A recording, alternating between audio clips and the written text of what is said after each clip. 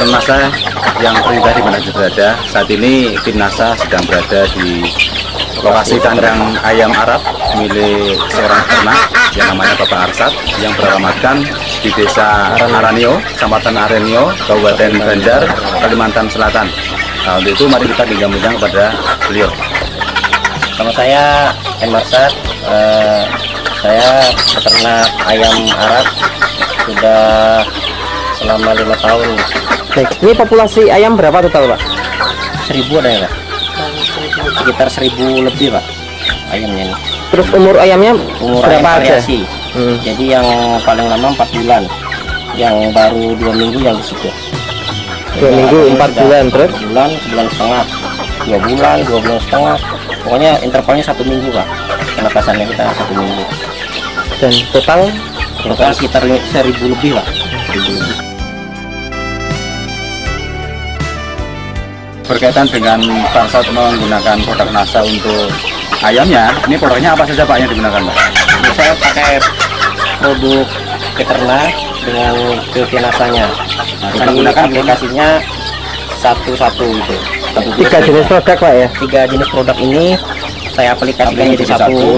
Setelah itu untuk pemberian minumnya 10 liter per tutup air. Untuk ramuan ya. Ya, per tutup ramuan. Tiap hari. Dari umur 0 hari. Pakai nasa ini. Jadi hari pertama tuh pakai gula merah dulu dua hari. Setelah itu langsung kita terapkan ke nasa dengan peternak dengan hormonik sampai umur dua bulan. Terus pokoknya sampai dia bertelur. Jadi nanti kalau bertelur biasanya kita pakai seminggu sekali lah. Takut nanti kalau obesitas gitu. Yang pakai Berapa baru ini. berapa bulan Bapak pakai nasa ini di ternak ayam? ini baru tiga bulan nih. Yang ini dari awal pak yang ini setelah kenal pak apa pak Nur Hamid tuh Saya paling lama tiga bulan ya. tiga bulan empat bulan itu sudah kita masukkan baterai Baik. Nah, ini Barsat selama pelihara tiga bulan, ini produk yang digunakan apa saja dan jumlahnya berapa ini masing-masing? jadi peternak lima biotinasa lima terus hormoniknya sekitar dua, Dua ya. dua botol Jadi dalam tiga bulan, kalau senasa lima, fiternanya lima, Lima. hormonnya dua botol ya. Iya, hari itu Pak. Nah, kemudian keuntungan yang dirasa dari Parsat ketika sudah menggunakan produk dari NASA ini seperti apa Pak? ternyata untuk ayam efisiensi pakan juga kelihatan mbak jadi untuk efisiensi pakan terus yang jelas kandang tidak terlalu bau Dari bau kotoran dari bau kurang ya.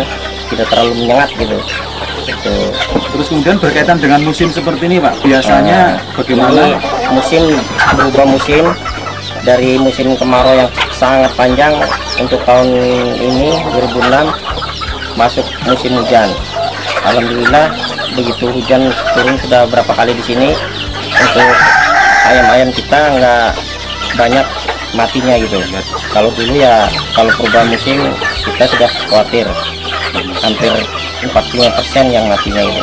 45%? Iya, hampir 45% lah kalau sekarang ya mungkin sekitar 20% lah ada yang mati Kemudian ini dari menetaskan sendiri Pak Arsat ya? Ya. Nah, sendiri ini yang betina dipelihara untuk ke petelur, yang Ya. jantan ini gimana Pak? untuk jantannya kalasan mbak jadi kita jual kalasan Memakan kalasan ya?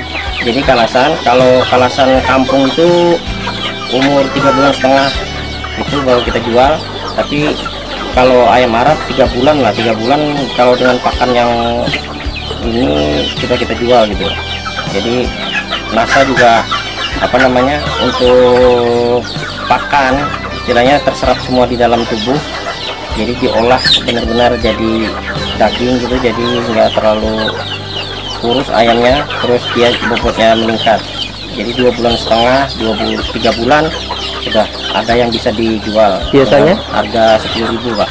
Biasanya Pak? Biasanya, umur 4 bulan pak. Kalau yang kita nggak pakai ini umur 4 bulan harga 10.000 itu 10 ribu per ekor sekarang tiga bulan. tiga bulan Dulu Dulu 4 bulan ya. dulu 4 bulan Jadi Pak Arsat setelah menggunakan produk NASA sudah tidak gunakan produk yang lain Pak Arsat ya? produk yang lain kita gunakan masih cuma itu jenis vaksin pak Oh vaksin Nah, ya. Kalau obat tidak ya Pak ya? saya? obat kita lihat dulu gejalanya kalau memang gejalanya sangat akut mungkin kita gunakan obat biasanya Dengan- kalau dipindah ke kandang lain kalau nggak waktu dulu pakai ini makannya susah. Stres kita dulu ya. dia stres dulu. Nah stres itu baru kita ini. Sekarang ya pindah kandang ke sini ke situ enggak enggak enggak enggak enggak apa enggak terlalu stres kita ayamnya. Dengan cerdas berarti daya tahan meningkat Pak. daya tahan jelas meningkat pak kalau untuk ini sekarang. Yang jelas untuk kematian pak. Kematian tuh betul-betul kita bisa nekan gitu. Kalau biasanya kalau perubahan cuaca hujan tuh yang jelas tuh snot penyakit snot pilek hidung gitu. Itu yang paling parah. Kalau sekarang kelihatannya mungkin kita lihat di veteriner ini kan ada mengandung vitamin C terus di kompleks itu kan untuk meningkatkan daya tahan tubuh.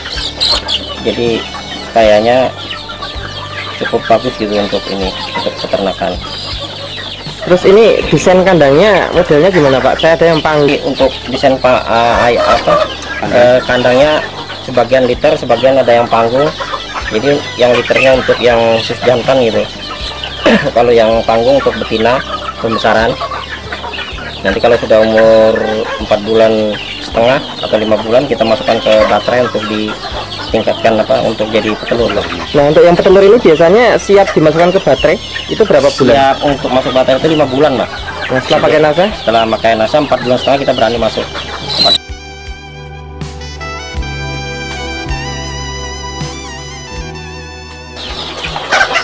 kira-kira pesan dan kesan Pak Arsat untuk masyarakat secara umum tentang penggunaan veteriner untuk ayam Arab bagaimana Pak? kalau pesan, pesan saya ya untuk eh, pemirsa NASA yang ada di seluruh Nusantara untuk peternak-peternak untuk agak eh, untuk tambahan rumah tangga gitu ya untuk hasil tambahan bisa memakai protein NASA gitu. Jadi untuk menekan jumlah kematian yang jelas itu terus meningkatkan daya tahan tubuh ayam. Dan di sini saya isu-isu burung juga nggak nggak masalah. gitu nggak takut gitu.